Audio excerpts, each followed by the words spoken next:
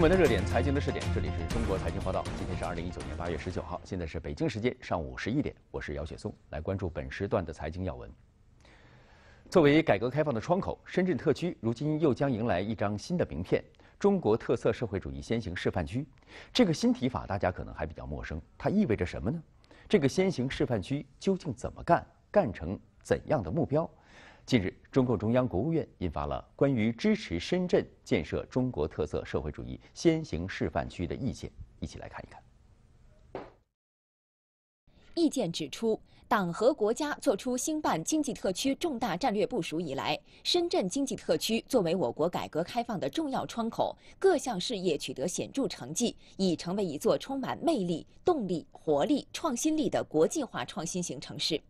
当前，中国特色社会主义进入新时代，支持深圳高举新时代改革开放旗帜，建设中国特色社会主义先行示范区，有利于在更高起点、更高层次、更高目标上推进改革开放，形成全面深化改革、全面扩大开放新格局，有利于更好实施粤港澳大湾区战略，丰富“一国两制”事业发展新实践。有利于率先探索全面建设社会主义现代化强国新路径，为实现中华民族伟大复兴的中国梦提供有力支撑。意见确定了深圳的战略定位，及高质量发展高地，建设现代化经济体系，在构建高质量发展的体制机制上走在全国前列，法治城市示范。用法治规范政府和市场边界，营造稳定、公平、透明、可预期的国际一流法治化营商环境，城市文明典范、民生幸福标杆、可持续发展先锋。意见提出的深圳发展目标是：到二零二五年，深圳经济实力、发展质量跻身全球城市前列，研发投入强度、产业创新能力世界一流，文化软实力大幅提升。公共服务水平和生态环境质量达到国际先进水平，建成现代化、国际化、创新型城市。到二零三五年，深圳高质量发展成为全国典范，城市综合经济竞争力世界领先，建成具有全球影响力的创新创业创意之都，成为我国建设社会主义现代化强国的城市范例。到本世纪中叶，深圳以更加昂扬的姿态屹立于世界先进城市之林，成为竞争力、创新力、影响力卓著的全球标杆城市。在暑假，孩子要外出，家长却没空，怎么办呢？机场的无成人陪护的服务派上了大用场。在南宁，随着暑运进入尾声，返程无陪伴儿童的数量明显增多。暑假以来，南宁无需国际机场每天都有单飞的小朋友，他们的目的地大多在北京、上海、成都、南京等大城市。最多的一天，从南宁机场无人陪伴邮寄出港的儿童有上百名。是由我们的那个服务员带过安检，然后在机上跟机组交接，到达之后吧，就是与接机人交接。针对暑运客流情况，南宁机场地服部门专门开设了无人陪伴儿童爱心柜台，开通绿色通道，安排专人负责，让单飞的小乘客从办理乘机手续一直到登机都能得到全程陪护。比如说接机人的信息，还有他本身呃身体有什么情况，都会在那个信息单里面要备注上面写明。证件一定要带好，国际航班我们才会用护照来办理，就是国内航班一般都用身份证或者户口本。记者了解到，这项服务主要针对五至十二周岁的孩子，监护人可以提前向对应航空公司提出申请，或直接联系机场地勤服务部，然后至少提前九十分钟抵达机场办理手续。七十岁以上的老人也可以按照这个流程享有同样的专项服务。从十五号开始呢，黑龙江省宝清县遭遇了暴雨，引发了洪涝灾害，大量积水涌入地势低洼的农田，部分作物面临绝收。我现在所处的位置呢是宝清县清源镇，去往尖山的江通江公路。我们看我的左手边是汪洋一片，而且它的水流速度非常急。我的右手边呢，本来是一片的草原，现在也是已经是被这个洪水所覆盖了。我们从当地的水文部门了解到。这里就是宝清县整个地域范围内地势最低洼的地段之一，四面八方来的这种积水呢汇聚在这儿。我们现在车辆已经被阻断在这儿了，现在我们只能通过步行再往前走了。记者了解到，暴雨引发的局部地区洪水冲毁了宝清县境内的十九处道桥。通过航拍视频，我们了解到，仅在宝清县的尖山子乡，这里近三分之一的农田被洪水淹没，一些民房和果蔬大棚也浸泡在洪水中。洪水对当地的农业生产的影响是最直接的。我们现在在这个宝清县现代农业科技园当中的这个呃水稻实验田，我们探一下，看这个稻田的水现在有多深。这个船桨大概是一米二，到底儿了。这个水稻的进水的深度大概得有七八十厘米，因为现在正是这个水稻的结穗灌浆期。我们看啊，被浸泡的水稻有的已经漂浮在这个水面上了。其实这个水稻其实长势已经很好了，它的穗儿也结得很饱满。你看，我使劲一捏，这个米浆就出来了，白色的米浆就出来了。据当地农业部门初步统计，这次洪水共造成黑龙江省宝清县七十七万亩农田受灾，其中绝产面积超过三十七万亩，直接经济损失更是超过五亿元人民币。十八号开始，黑龙江省宝清县迎来多云和阵雨天气。最近两年呢，市场上流行了一种新型的凉席，它是用棉麻或是合成纤维织成的织物凉席。而上海市消费者保护委员会在试验当中发现，很多针对婴幼儿的凉席居然存在着甲醛含量和 pH 值超标的问题。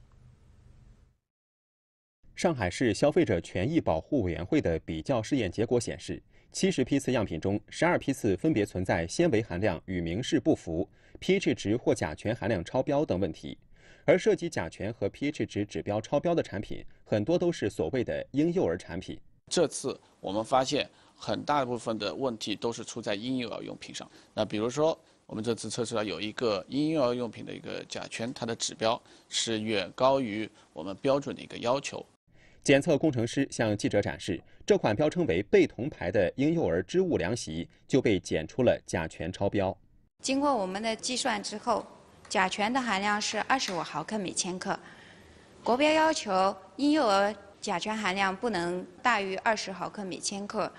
对婴幼儿产品来说，这个数值超的算是有点多了。而对于 pH 值，国家强制标准也要求婴幼儿凉席的 pH 值标准应该在四点零到七点五之间。而这款标称为贝珠儿品牌的织物凉席，在网页上宣称是夏季新生儿宝宝婴儿床席子。但经过检测，pH 值含量达到了九点零，远超标准限定范围。记者注意到，在此次比较试验中，pH 值超标的共有四批次织物凉席，其中有三批次都标称为婴幼儿凉席产品，包括了标称为南昌凉凉实业有限公司的凉凉牌婴幼儿凉席，江西七彩博士实业有限公司的七彩博士牌凉席，南通本陌生家居用品有限公司的贝珠尔牌凉席。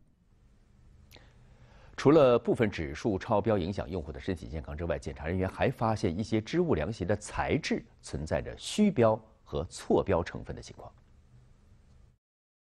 上海市消保委的工作人员采样时发现，这款标称为“喜亲宝牌”的亚麻婴儿凉席，标签上标称的主料是百分之百亚麻，售价不到八十块钱。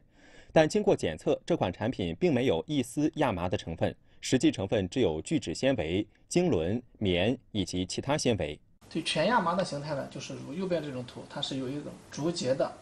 这种的形态。左边呢，其实没有任何麻的形态。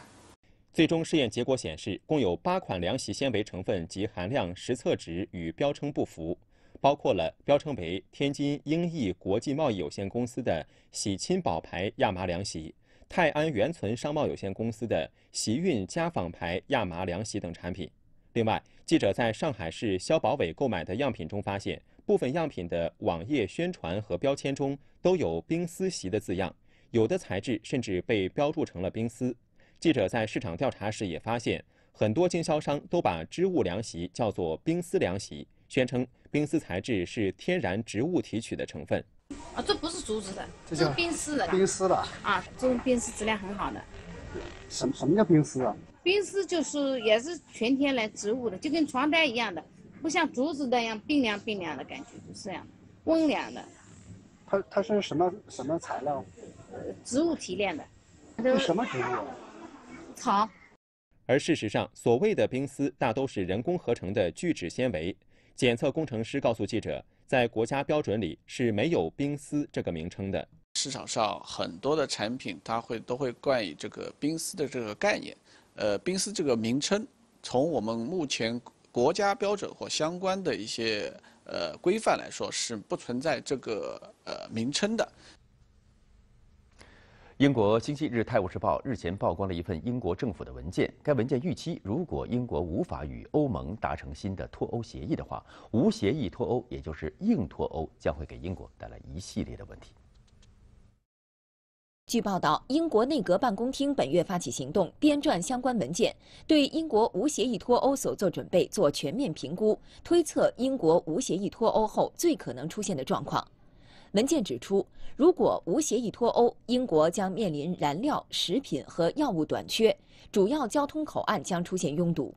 文件显示，使用主要口岸的货车中，百分之八十五可能没有准备好接受法国海关检查，这意味着许多口岸的混乱状况可能持续三个月。英国政府认为，北爱尔兰地区和爱尔兰之间今后可能需要设置硬边界，即重新设置实体海关和边防检查设施。现有避免全面检查的计划，届时将没有办法继续。英国计划完成脱欧的期限是十月三十一号。英国首相鲍里斯·约翰逊多次强调，英国将努力与欧盟达成一份新的脱欧协议，同时强调英国必须在期限内完成脱欧，即使这样做的代价是无协议脱欧。路透社以多名反对无协议脱欧人士为消息源报道称，无协议脱欧将损害全球经济增长，经由金融市场传递冲击，进而撼动英国的金融中心地位。